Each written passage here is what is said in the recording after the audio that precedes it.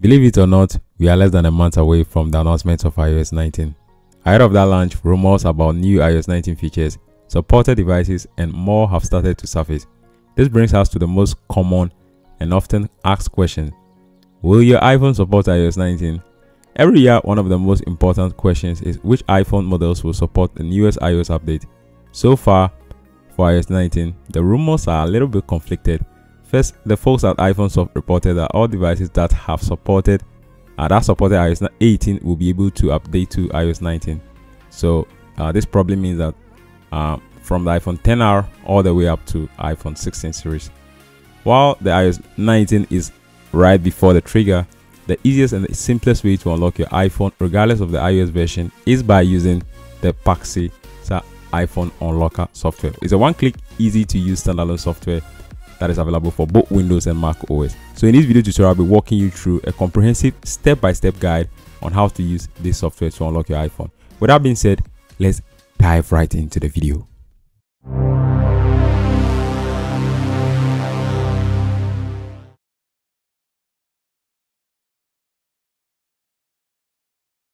It's good to be back.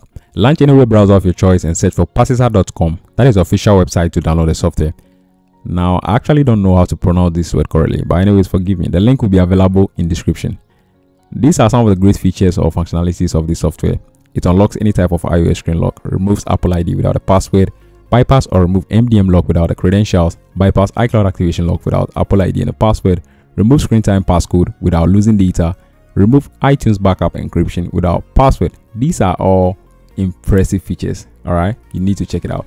Now the tool is available for both windows and mac os and i've said that before and it's free to download. I've already downloaded it so i'm not going to download it again. Once you're done with the download you just go ahead and install the file. For mac os the installation is different. You have to drag to the applications just like this. And on windows you might just double click on the file to install.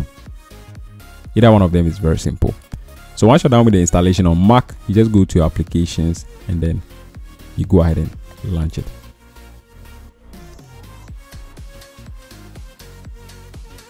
Before to, these two launches, uh, let me be sincere with you guys. This is one of the tools that has the simplest user, user interface I've ever seen. For a desktop applications to have this very cool user interface is not common. Look at it. It's like more like mobile. So the first option is to wipe passcode and then the second option is to remove Apple ID for open menu devices and then the third option is to and remove MDM, followed by screen time, and it goes on. You can check it out yourself. We are going to be using the wipe passcode option, that is the first one, and then you just go ahead and click on the start button. But before then, let's connect our iPhone. What I have here is an iPhone 12 Pro Max on the right side of the screen. That is passcode lock. I, I do not remember the passcode, and as, as you can see, let's first turn off the device for iPhone X to the newer models. You first turn off the device that is that is locked and then once you turn it off you hold the power key and then you connect to the to the laptop all right you first turn off the device hold the power key or the side key and then you connect to the laptop. And then you connect to the phone as well. And then you keep holding the power key so the device is in recovery. So once the device is in recovery you see you you see this image on the screen. That is a laptop with a lightning cable pointing up. That is to show that the device is in recovery. So you click on the start button and so for some reasons if the device the software doesn't detect the device you have to reconnect. And in my case you can see the device isn't showing so you have to reconnect. So automatically the, the software is going to uh, find the latest firmware for a device.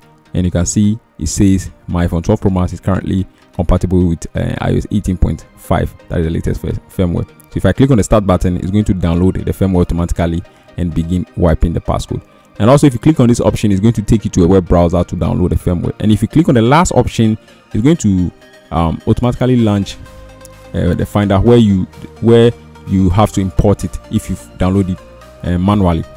Once you are done importing you just click uh, you just uh, enter four zeros all right?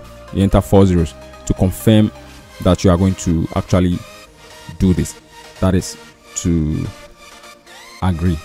Yeah because you are going to actually lose or wipe the device lose data mm. so you have to confirm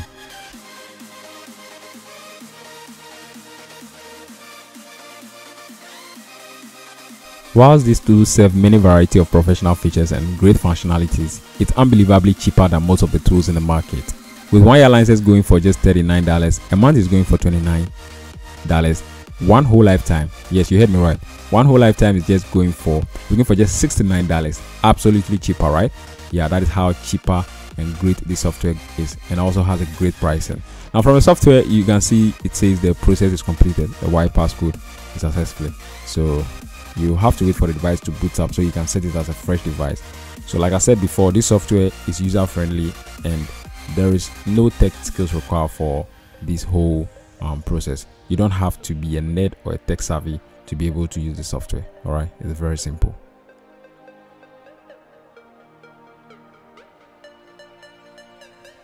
All right here we go. So you just have to follow skip skip skip to the next screen home screen. You connect Wi-Fi if necessary and then you set up the device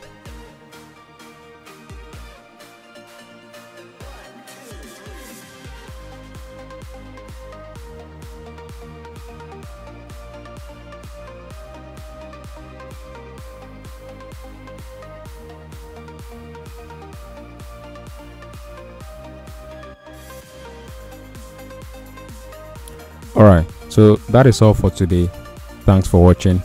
I'll catch you guys in my next video. Till then, peace out.